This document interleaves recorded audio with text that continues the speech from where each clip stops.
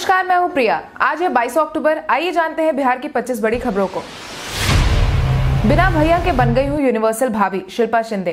भाभी जी घर पर है fame Shilpa Shinde. Drum and dandiya कार्यक्रम में हिस्सा लेने पटना के ज्ञान भवन पहुँची, जहाँ उन्हें देखने हज़ारों की तादाद में लोग इकट्ठा हुए। शिल्पा ने भाभी जी के अंदाज में लोगों से काफ़ी बातचीत की। कार्यक्रम के दौरान शिल्पा शिंदे ने कहा कि बिग बॉस जीतने के बाद भी उनमें कोई फ़र्क नहीं आया है। वो जैसे पहले थी, अभी भी बिल्कुल वैसी ही है। आयोजित कार्यक्रम में शिल्पा शिंदे के अलावा मशहूर ड्रमर ऋषभ शंकर, डीजे प्रियंका और एक्ट्रेस हिमानी सिंह ने भी ऑडियंस का खूब मनोरंजन किया। नीतीश कुमार की तारीफ़ करते दिखे मांझी। पटना के श्री कृष्ण मेमोरियल हॉल में प्रांतीय मुसहर भैया सम्मेलन का आयोजन किया गया था, जिसमें मुख्य अतिथि के तौर पर हिंदुस्तानी आवाम मोर्चा के प्रमुख जीतन राम मांझी मौजूद रहे। कार्यक्रम के दौरान हम प्रमुख जीतन राम मांझी का दिल नीतीश कुमार के लिए पिघलने लगा। आयोजित कार्यक्रम में मांझी ने नीतीश कुमार की तारीफ़ करते हुए कहा कि नीतीश अच्छे आदमी है, तभी मुझे मुख्यमंत्री बना दिया था। वो तो बहकावे में आकर उन्होंने मुझे सीएम की कुर्सी से हटा दिया। धरनई पंचायत को तीन तीन राष्ट्रीय पुरस्कारों से किया जाएगा सम्मानित।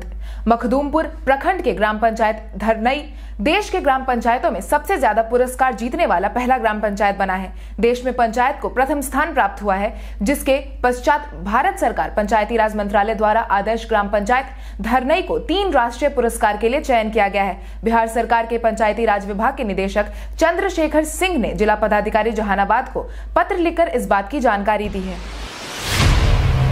अगले सप्ताह चार दिनों तक बैंक रहेंगे बंद। चुनाव, हड़ताल और छुट्टियों के कारण इस सप्ताह कई बैंक महज तीन दिन के लिए खुले रहेंगे। शेष बचे चार दिनों के लिए बैंक सेवाएँ प्रभावित रहेंगी। वहीं महाराष्ट्र या हरियाणा के हिस्सों में इस सप्ताह बैंक केवल तीन दिन के लिए खुलेंगे। देश के बाकी हिस्सों में बैंक सेवाएँ केवल आज ही प्रभावित रहने की उम्मीद है। क्योंकि बैंकों के विलय के विरोध में दो बैंक यूनियन ने 22 अक्टूबर को हड़ताल का ऐलान किया है। शहरी गरीबी मंत्रालय की रिपोर्ट में भागलपुर को पहला स्थान, वहीं पटना चौथे स्थान पर।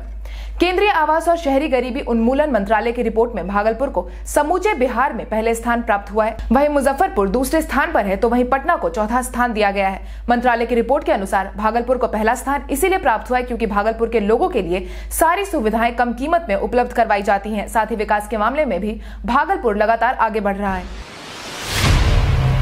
बिहार प्रशासनिक सेवा संघ ने पाँच जिलों में बीपीएस अधिकारी को डीएम बनाने की मांग की। बिहार के पाँच ज़िले में बीपीएस अधिकारी के डीएम को तैनात करने की मांग बिहार प्रशासनिक सेवा संघ ने की है। संघ ने कहा है कि राबड़ी देवी के कार्यकाल में इसको लेकर समझौता हुआ था, लेकिन अब नीतीश सरकार में इस समझौते को तोड़ दिया गया है।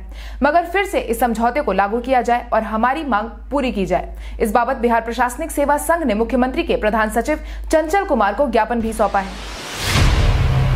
स्कूलों की फ़ीस बढ़ाने की पूर्व सूचना 31 तक देनी होगी। नए सत्र में स्कूल प्रशासन अब फ़ीस की बढ़ोतरी में अपनी मनमानी नहीं कर सकता। जारी आदेश के अनुसार पटना प्रमंडल को 31 अक्टूबर तक पटना जिला शिक्षा कार्यालय को फ़ीस में बढ़ोतरी की जानकारी देनी होगी। पटना जिला शिक्षा कार्यालय के अनुसार सभी एनओसी प्राप्त स्कूलों पर हमने पहले ही निजी विद्यालय अधिनियम लागू कर दिया था, मगर अभी भी कुछ स्कूल ने अपने तर्क देकर इन नियमों को मानने से इनकार किया है। इसके साथ ही सभी अभिभावकों पर निर्धारित दुकान से यूनिफॉर्म और किताबें खरीदने के लिए भी किसी तरह का दबाव नहीं बना सकता है। दसवीं की सेंटर परीक्षा सात नवंबर से बिहार बोर्ड के निर्देश पर दसवीं की सेंटर परीक्षा सात नवंबर से 11 नवंबर तक आयोजित की गई है।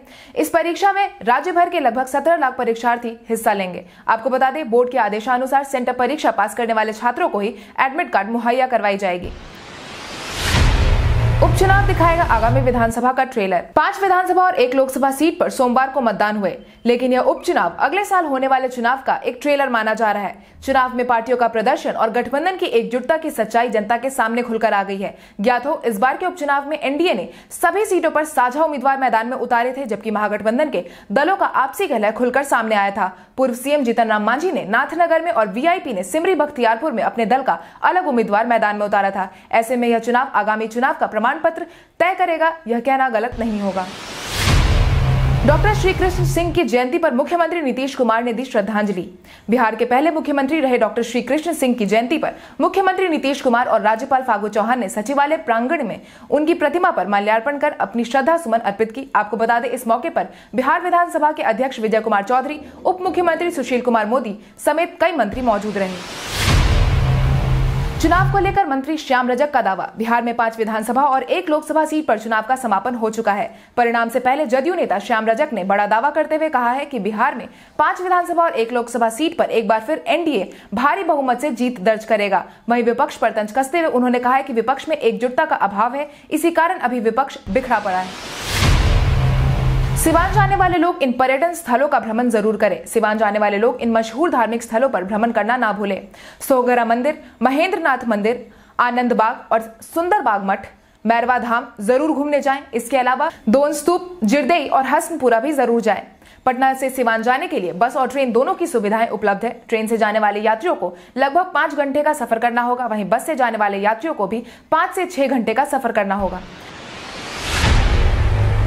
वीआईपी प्रमुख मुकेश सहनी ने राजद पर कसा तंज। वीआईपी प्रमुख मुकेश सहनी ने कहा है कि आरजेडी और वीआईपी को बार बार छोटी पार्टी कहा जा रहा है, लेकिन इस उपचुनाव में ही पता चल जाएगा कि कौन कितने पानी में है। इसके आगे उन्होंने कहा है कि राजद के वरिष्ठ नेता रघुवंश प्रसाद एक और दलों की एकता की बात करते हैं तो वहीं दूसरी ओर हम और वीआईपी पर इस तरीके की टिप्पणी करते हैं। राकेश पांडे को doctor of philosophy in international relation से किया गया सम्मानित। बिहार के मोतिहारी के रहने वाले और ब्रावो फार्मा के चेयरमैन राकेश पांडे लंदन में सामाजिक सरोकार के मुद्दे पर अक्सर सक्रिय नज़र आते हैं। राकेश पांडे समाज सेवी के साथ साथ एक बेहतरीन बिजनेसमैन है। भारतीय पर्यावास केंद्र में आयोजित एक कार्यक्रम के दौरान उन्हें doctor of philosophy in international relation से सम्मानित किया गया है। राज्य स्तरीय खो खो खिताब पर भागलपुर का कब्जा। राज्य स्तरीय विद्यालय खो खो प्रतियोगिता का आयोजन मधुबनी में किया गया था, जिसमें भागलपुर ने अंडर 17 बालक वर्ग के खिताब को जीत लिया है। आपको बता दें फाइनल मैच में भागलपुर की टीम ने मधुबनी को 12-11 से हरा दिया। वहीं अंडर 14 बालक वर्ग की अगर हम बात करें तो फाइनल प्रतियोगिता में नालंदा ने भागलपुर को ग्यारह बारह के अंदर से हरा दिया। अंडर फोर्टीन बालक वर्ग मुकाबले में भागलपुर को उप विजेता ट्रॉफी से नवाजा गया। कन्हैया कुमार की डूबती नैया को राजद का सहारा। उपचुनाव के खत्म होते ही आगामी विधानसभा चुनाव के मद्देनजर बिहार की राजनीति में महागठबंधन के सुर एक बार फिर ज़ोर पकड़ रहे हैं। इसी बीच, जेएनयू के कन्हैया कुमार ने तेजस्वी यादव पर मीडिया से बातचीत के दौरान कहा है कि बिहार को बचाने के लिए महागठबंधन की ज़रूरत है। लोकसभा चुनाव के दौरान एक गठबंधन दिखाई दिया, लेकिन अब ऐसा कोई गठबंधन बनता नहीं दिख रहा है। इसके साथ ही कन्हैया ने कहा है कि हमारे लिए किसी भी व्यक्ति को नेता मानने से कोई दिक्कत नहीं है। रोहित शर्मा की रैंकिंग में लगातार हो रही है बढ़ोतरी। India versus South Africa series में रोहित शर्मा का बल्ला बोल रहा है। तीसरे दिन, तीसरे टेस्ट मैच में पहले दिन रोहित शर्मा ने ताबड़तोड़ बैटिंग से ढेर सारे रिकॉर्ड्स तोड़ दिए हैं। पिछले दो मैचों में रोहित ने ओपनिंग की दोनों पारियों में शानदार शतक से उन्हें मैन ऑफ़ द मैच चुना गया था। आईसीसी टेस्ट रैंकिंग में रोहित शर्मा ने भी काफ़ी बढ़त हासिल की है। ताबड़तोड़ बल्लेबाजी से रोहित शर्मा की रैंकिंग में छत्तीस स्थानों में बढ़ोतरी देखने को मिली है, जिसके बाद रोहित अपने टेस्ट करियर की सर्वश्रेष्ठ रैंकिंग सत्रहवें स्थान पर पहुँच गए हैं। छात्राओं को बिहार विश्वविद्यालयों के लगाने पड़ रहे हैं चक्कर। विश्वविद्यालय से स्नातक उत्तीर्ण छात्राओं को प्रोत्साहन राशि दी जानी है। ग्रेजुएटेड छात्राओं को सरकार की ओर से मिलने वाली पच्चीस हज़ार की प्रोत्साहन राशि के लिए छात्राएँ चक्कर लगा रही हैं। बजट में 200 करोड़ रुपए का प्रावधान के बावजूद कई छात्राओं के खाते में अभी तक पैसे नहीं आए हैं। हालाँकि प्रथम किश्त के तौर पर पैंसठ करोड़ की राशि की स्वीकृति महीने पहले दी जा चुकी है। 6000 से ज़्यादा पदों पर आवेदन भरने की समय सीमा बढ़ी। बिहार सरकार तकनीकी सेवा आयोग ने कुल छह हज़ार चार सौ सैंतीस पदों के लिए नियुक्तियाँ निकाली थी, जिसको भरने की अंतिम तारीख 18 अक्टूबर थी। मगर अब सरकार ने इन पदों पर आवेदन भरने की समय सीमा में बढ़ोतरी की है। इच्छुक अभ्यर्थी अब 28 अक्टूबर तक आवेदन भर सकते हैं। इन पदों पर आवेदन भरने की शुल्क राशि कुछ इस प्रकार है। बिहार के एस सी एस महिला उम्मीदवार के लिए पचास रूपए तो वहीं जनरल ओबीसी अन्य के लिए दो सौ रूपए। अभ्यर्थी बी टी पर जाकर आवेदन भर सकते हैं। पप्पू यादव के निशाने पर एक बार फिर आए नीतीश। जन अधिकार पार्टी के प्रमुख पप्पू यादव ने एक बार फिर मुख्यमंत्री नीतीश कुमार पर जल जमाव को लेकर निशाना साधते हुए सोशल मीडिया के माध्यम से कुछ तस्वीरों को शेयर किया है। तस्वीर के साथ पप्पू यादव ने ट्वीट कर लिखा है कि यह बिहार की राजधानी पटना के नेपाली नगर महावीर कॉलोनी का मुख्य रास्ता है। बिहार के सीएम आवास से महज पाँच किलोमीटर अर्थात पंद्रह मिनट के फासले पर है। यह मोहल्ला जहाँ नागरिकों का जीवन मुहाल है। इसके बाद भी सीएम विकास पुरुष है। शर्म भी नहीं आती। आज मैं अपने तरीके से इस सड़क का निर्माण करवाऊँगा। सीतामढ़ी से निकल बॉलीवुड स्टार्स और अंतर्राष्ट्रीय खिलाड़ियों को देती है ट्रेनिंग। बिहार में हुनर की कोई कमी नहीं है। इसी बात का प्रमाण है बिहार के सीतामढ़ी की प्रतिभा प्रिया उर्फ़ शिल्पी।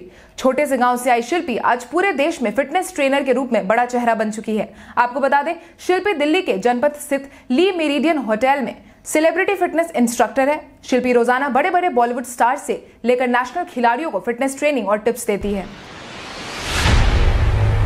पटना में फिर शुरू हुआ मेगा चेकिंग अभियान। न्यू मोटर व्हीकल एक्ट के तहत वाहनों की चेकिंग की हवा एक बार फिर उठ चुकी है। पटना के बेली रोड में डीजीपी कार्यालय के पास चेकिंग अभियान फिर से देखने को मिल रहा है। दस्तावेजों और हेलमेट को लेकर जाँच चल रही है। आपको बता दें, इससे पहले पटना में भारी बारिश के कारण हुए जलजमाव से पूर्व प्रमंडलीय आयुक्त ने वाहनों की चेकिंग पर रोक लगा दी थी, मगर अब फिर से पटना में चेकिंग अभियान की शुरुआत हो गई है। आइए जानते हैं मौसम का हाल। दरभंगा गया किशनगंज, लखीसराय मधुबनी, मुजफ्फरपुर, पटना में हल्की धूप के साथ मौसम में नमी रहेगी। वहीं पूर्णिया, सिवान, बेगूसराय, भागलपुर, रोहतास में हल्की धूप के साथ मौसम सामान्य रहेगा। बाकी सभी क्षेत्रों में मौसम लगभग सामान्य रहेंगे।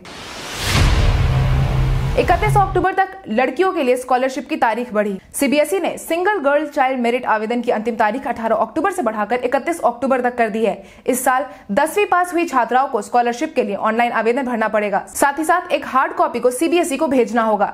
वही पिछले साल जिन छात्राओं को यह स्कॉलरशिप दी गई थी, उन्हें इसके रिन्यूअल के लिए आवेदन वापस से भरना होगा। आपको बता दें, स्कॉलरशिप के अंतर्गत दो साल तक छात्राओं को पाँच सौ प्रति महीने दिए जाते हैं। शहीद संस्मरण दिवस के अवसर पर डीजीपी ने शहीदों को दी श्रद्धांजलि। 21 अक्टूबर को मनाए जाने वाले शहीद संस्मरण दिवस पर बीएमपी ग्राउंड में आयोजित श्रद्धांजलि सभा में बिहार के डीजीपी गुप्तेश्वर पांडे ने शहीद जवानों के स्मारक स्थल पर शहीद जवानों को नमन करते हुए उन्हें श्रद्धांजलि दी। इस मौके पर डीजीपी ने कहा कि बिहार के जवानों ने राज्य की रक्षा के लिए हमेशा अपना बलिदान दिया है। विभाग इन शूरवीरों के बलिदान को हमेशा याद रखेगा। आपको बता दें, आयोजित कार्यक्रम में डीजीपी गुप्तेश्वर पांडे के अलावा पुलिस के कई आला अधिकारी मौजूद रहे। आज के लिए बस इतना ही। धन्यवाद।